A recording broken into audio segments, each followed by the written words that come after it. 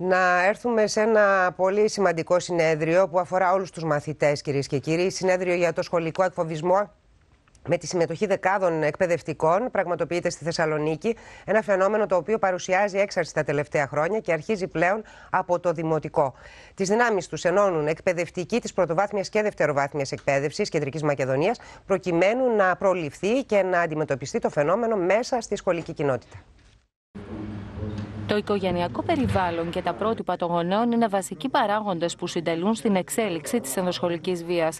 Ακολουθεί ο ανταγωνισμός που αναπτύσσεται μεταξύ των μαθητών, ενώ πολύ σημαντικό ποσοστό για την εκδήλωση της ενδοσχολικής βίας παίζει και η εξωτερική εμφάνιση του μαθητή που δέχεται το γνωστό bullying.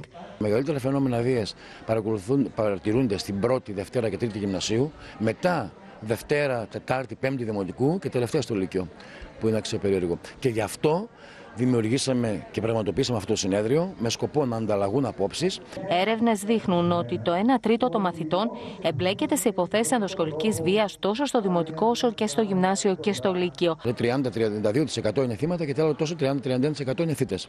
Είναι πολύ μεγάλο ποσοστό. Το πιο σημαντικό είναι να γίνουν δράσεις οικοσυστημικής παρέμβασης. Θα πρέπει να πάρει δηλαδή μέρος όχι μόνο η εκπαιδευτική κοινότητα, αλλά και η κοινωνία γενικότερα από τους ε, Δήμους, τα πολιτιστικά κέντρα, ε, η παρέμβαση της Εκκλησίας γενικά πρέπει να είναι κάτι πολύπλευρο και οικοσυστημικό.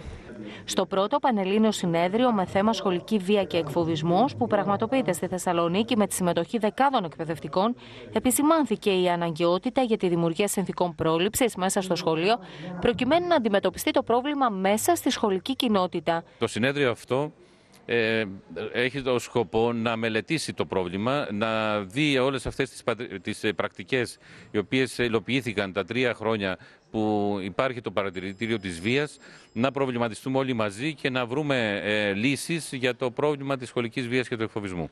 Σκοπός του συνεδρίου, μεταξύ άλλων, είναι να προωθηθεί και να προαχθεί γόνιμος και δημιουργικός διάλογος στην εκπαιδευτική κοινότητα σχετικά με τις αιτίες της σχολικής βίας, αλλά και να συζητηθούν οι προοπτικές αποτελεσματικής διαχείρισης στο επίπεδο της πρόληψης και στη συνέχεια της αντιμετώπισης του εκφοβισμού.